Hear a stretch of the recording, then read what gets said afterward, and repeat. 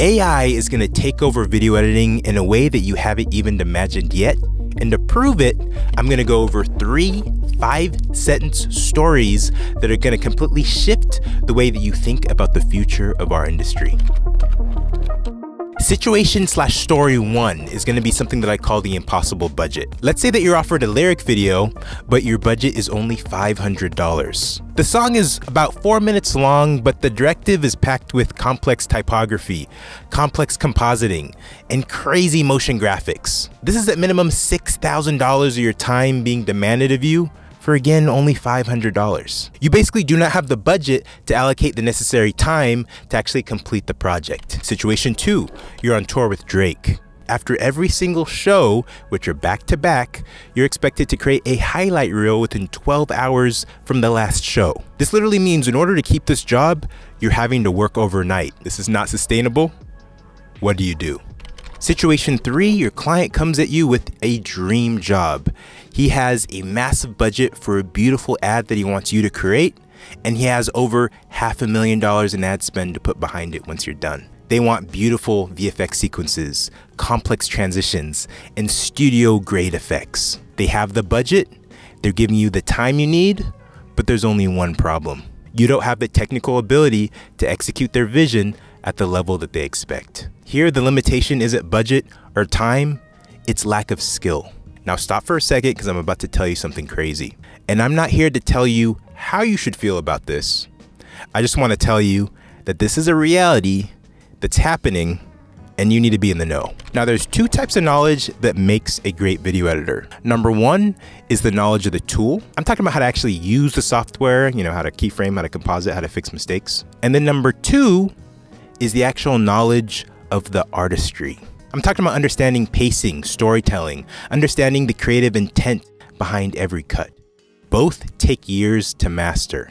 But now, AI is being trained to master both at the same time. Let's talk about AI learning the tool first. Before AI can edit like a pro, it needs to actually learn the tools, the software, Premiere Pro, After Effects. And it's learning just like a human would do. This AI is watching every single tutorial on YouTube. Now let's talk about AI learning artistry. At the same time, AI is learning why things are being done a certain way. It's analyzing music videos to understanding the rhythm of fast-paced cuts. It's watching feature films to see how editors create emotion with pacing. It's studying YouTube creators to break down the formulas that hold attention. It's not just learning how to use the tools, it's learning how to create the art itself. And when you combine these two things, I'm talking about the technical skill and the artistic intuition, you get a machine that can edit, animate, and create VFX at a professional level instantly. Voice activated video editing. This is on the verge of being able to happen, and I'm going to tell you about it. Right now, OpenAI's Operator AI is able to do this with browsers. You're able to not necessarily use your voice, but you're able to type in a prompt and it will then literally operate your mouse and click and do any function or do any command that it tells you to do as long as it's on a browser. It'll respond to your mail.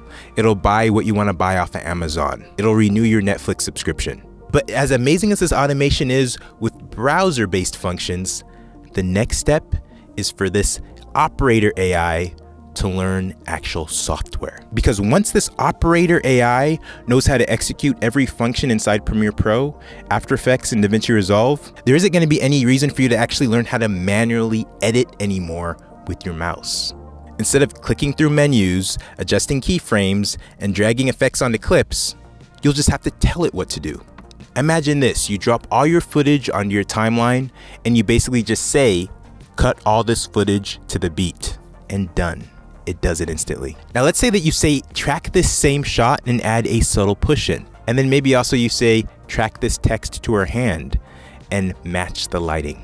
I'm talking about no clicking, no dragging, no searching for effects. You're basically speaking your edits into existence. Now let's revisit those three situations once again. As far as the $500 lyric video, instead of painstakingly animating every lyric, you just say auto sync the lyrics to the beat and add dynamic motion graphics.